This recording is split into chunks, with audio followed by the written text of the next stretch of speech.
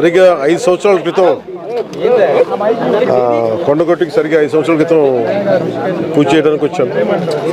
ఇప్పుడు political campaign start చేయడానికి వచ్చాను. అలాగే మేము మేము పెట్టుకున్న ఈ క్యాంపెయిన్ వెహికల్ వారాహి వాహన పూజకుని కొండగట్టు ఆంజనేయుడు మహిళ ఇల మా ఇలవేల్పు మా ఇంటి ఇలవేల్పు ఆయన ఆశీస్సులు తీసుకొని ఈ ప్రయాణం మొదలు పెడతామని ఎందుకంటే రెండు వేల ఎనిమిదిలో కూడా ఎలక్షన్ టైంలో రెండు వేల ఎనిమిదో తొమ్మిది తొమ్మిదిలో తొమ్మిదిలో అనుకుంటా. నాకు ప్రాణగండం ఉందని చెప్పి చాలామంది చెప్తే కూడా నేను ఉంటే ఉంటుంది పోతే పోద్ది మన ప్రాణాలు మన చేతిలో ఉండవని నాకు చెప్పి నేను బయలుదేరితే ఇదే కరీంనగర్లో కొండగట్టు ఆంజనేయుని దర్శించుకొని చిన్న ఒక ఒక రైస్ మిల్లో ఆతిథ్యం ఇచ్చారు. అది చేసుకుని వస్తుంటే హై టెన్షన్ వైర్ తగిలి జుట్టు కాలిపోయింది ఒక పాటు.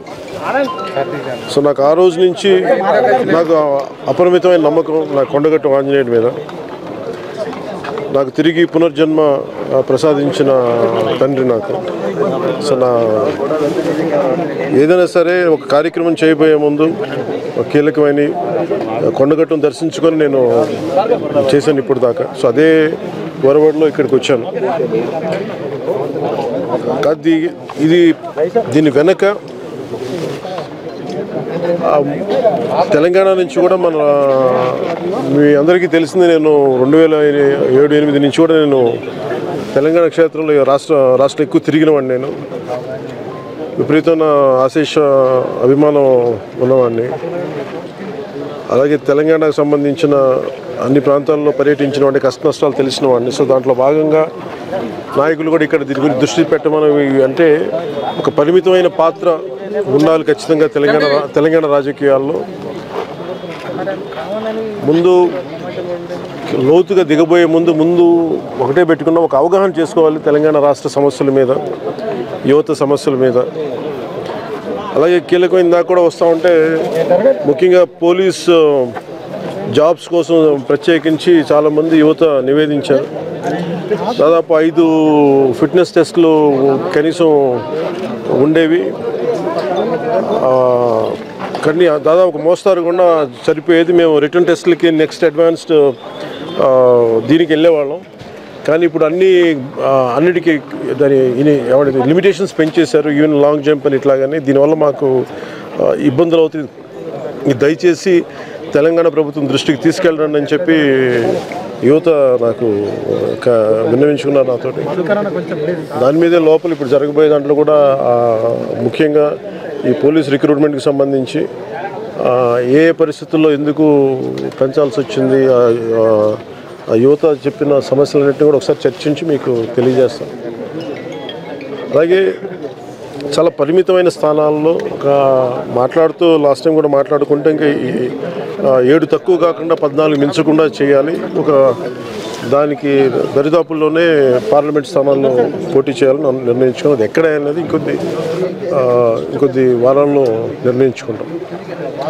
సో నాకు సహకరించిన మీ అందరికీ ప్రతి ఒక్కరికి పేరు తెలంగాణలో బీజేపీతో పొత్తు అనే అంశాన్ని ఏమనుకోవచ్చు? అంటే పోయిన లాస్ట్ టైము ఈ వైజాగ్ హైదరాబాద్ కార్పొరేషన్ ఎన్నికలకు కూడా దాదాపు ముప్పై పైచీలకు ముప్పై ఆరు ఎన్నో మా వాళ్ళు అభ్యర్థులు పోటీ చేయబోయారు. కాకపోతే నాకు జాతీయ స్థాయి నాయకులు నన్ను రిక్వెస్ట్ చేసిన మీదట నేను ప్రత్యేక దృష్టితో చూసి దాన్ని మా వాళ్ళందరినీ విరమించుకోమని చెప్పాను సో నా మద్దతు ఎప్పుడు బీజేపీకి ఉంటుంది. కానీ ఈసారి మటుకు ఖచ్చితంగా జనసేన ఫుట్ ప్రింట్ దాని ప్రయత్నం చేయాలని నేను కోరుకుంటున్నాను. అసెంబ్లీ అన్ని స్థానాల్లో పోటీ లేదు సార్ లిమిటెడ్గానే అనుకుంటాం సార్. ఎందుకంటే అంత అంత బలం లేదు. అభిమానం ఉండొచ్చు తెలిసి ఉండొచ్చేమో కానీ ఒక చాలా బలంగా పార్టీ పట్ల ఆకర్షితులైన యువత కూడా ఉన్నారు ఆడపడుచులు కూడా ఉన్నారు. అందుకని ఒక పరిమితమైన స్థానాలు ఎందుకంటే మాకు నాకు బేసిక్గానే ఓట్ని డిస్టర్బ్ చేయడం ఇష్టం లేదు. ఇప్పుడు రెండు వేల పద్నాలుగులో మీరు పార్టీ పెట్టింది ఇప్పుడు తెలుగు రాష్ట్రాల్లో తెలంగాణ ఏపీ రెండు కూడా చూశారు. ఇప్పుడు ఏ విధంగా ఉన్నాయి? ఆ ప్రభుత్వం కానీ ఈ ప్రభుత్వం కానీ ఇప్పుడు తెలంగాణ రాష్ట్రంలో పాలన రెండు ప్రభుత్వాల్లో తేడా ఆ- అలా చేస్తే ఖచ్చితంగా ఆంధ్రాకి కంపేర్ చేయలేం తెలంగాణ. ఖచ్చితంగా కొన్ని సమస్యలు మిగతా వాళ్ళు లేవనెత్తిన అంశాల్లో ఇష్యూస్ ఏమైనా ఉండొచ్చేమో కానీ ఖచ్చితంగా ఆంధ్రాతో కంపేర్ చేస్తే అసలు ఆంధ్రాతో కంపేర్ చేయలేం తెలంగాణ ప్రభుత్వం. అభివృద్ధి బాటలో ఉన్నదంటారా తెలంగాణ? ఆంధ్రాతో కంపేర్ చేసుకుని ఖచ్చితంగా అభివృద్ధి బాటలో. ఆంధ్రాతో కంపేర్ చేస్తే. ఇట్లా తెలంగాణ పర్యటన మీరు ఏదైనా పాదయాత్ర కానీ చేసే అంటే నాకు గతంలో నేను ఆదిలాబాద్ కరీంనగర్ మన ఓపెన్ మైన్స్ అన్ని నేను పర్యటించిన వాడిని. నాకు లోపల ప్రత్యేకంగా కొన్ని సమస్యల మీద అవగాహన ఉంది. వాటిలో వాటి మీద కనుక ఒక రిపోర్ట్ ఒకటి తయారు చేసుకుని ఖచ్చితంగా అది పాదయాత్రగా చేయొచ్చా లేదంటే సందర్శించాలా అనేది ఖచ్చితంగా నా మైండ్లో ఉంది ఖచ్చితంగా చేస్తాను. సార్ తెలంగాణలో ఏమైనా పొత్తులు ఉండే అవకాశం ఉందా? మీరు అనేది ఎవరితోటి? ఏ- పార్టీ? కలిపి భావజాలంతో కలిసి వచ్చే పార్టీలు మీరు అంటే అంటే బేసిక్గానే మౌలికంగా నేను ఆలోచించేది ఎప్పుడు ఓటు చేయకూడదని అనుకుంటాను ఇక్కడ వెరీ కన్స్ట్రక్టివ్ రోలే ప్లే చేయాలి. ఎందుకంటే నిజంగా మనం ఏదన్నా డెమోక్రసీ ప్రజాస్వామ్యం ప్రజలకు ఏదైనా హెల్ప్ చేయాలి అనుకుంటే మన వంతు కృషి చేసి దాన్ని కన్సాలిడేట్ చేయాలని అనుకుంటున్నాం ఓట్ని. స్ప్లిట్ చేసి అటు ఇటు కాకుండా డిస్టర్బ్ చేయడం కంటే అది ఇప్పుడు పొలిటికల్ ల్యాండ్స్కేప్ని డిస్టర్బ్ చేయడం అది గవర్నమెంట్కి మంచిది కాదు. ఎనీ ఫ్యూచర్ గవర్నమెంట్స్ కూడా. సో వీటన్నిటి దృష్టిలో పెట్టుకుని వెరీ కన్స్ట్రక్టివ్ రోలే ప్లే చేయాలనుకుంటే దాంట్లో భాగంగా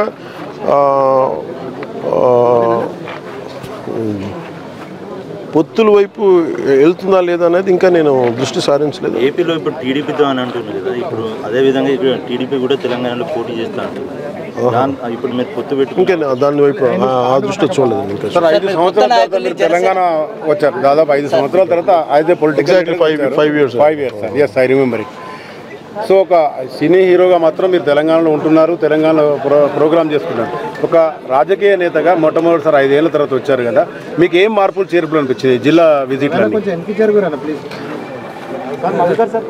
ఖచ్చితంగా తెలంగాణ రాష్ట్ర సాధన తర్వాత ఖచ్చితమైన అభివృద్ధి అది ఉంది దాన్ని దాన్ని గుర్తించలేదు కదా దాన్ని ఖచ్చితంగా గుర్తించాలి దాన్ని అభినందించాలి. కానీ ప్రజలు కోరుకున్నంత ఉందా లేదా అనేది ఇది దాని మీద ఇంకా నాకు స్పష్టమైన అవగాహనతో నేను మాట్లాడగలను. ఇంకొంచెం లోతుగా నేను అధ్యయనం చేసిన తర్వాత మాట్లాడగలను. సార్ జనసేన పార్టీలో యువకులకే ప్రాధాన్యత ఎక్కువ ఇస్తా అని ఏంటి చెప్పారు. మీరేం సందేశం ఇవ్వాలనుకుంటున్నారు తెలంగాణ ప్రజలకి? ఎలా సార్? కేవలం పద్నాలుగు స్థానాలు మాత్రమే పోటీ చేయడానికి వెళ్తున్నారు. సో తెలంగాణ రాష్ట్రానికి ఎలాంటి సందేశం తెలంగాణ రాష్ట్రానికి కాదు కానీ అంటే ఒక్క రోజులో ఇప్పుడు నేసెంట్ స్థాయిలో ఉంది కదండి. మరి పార్టీ నా దగ్గర ఉన్న నన్ను ఫాలో అయ్యాలంటే కొత్త ఔత్సాహికులు బాగా పరిణితి చెందిన రాజకీయ నాయకులు. సో అందువల్ల ఔత్సాహికులతోటి యువతతోటి నా ఉద్దేశంలో ఒక పరిమితంగా అంటే ఏం లేదు ఒక నేసెంట్ స్థాయిలోనే ఉన్నాం కదా. పార్టీ ఇంకా చిన్న బిడ్డ స్థాయిలో ఉంది. సో దాన్ని అందుకనే తక్కువ స్థానాలను కుదించుకోవచ్చు. ఆంధ్రప్రదేశ్లో కన్నా లక్ష్మీనారాయణ లాంటి నేతలు వస్తున్నారు.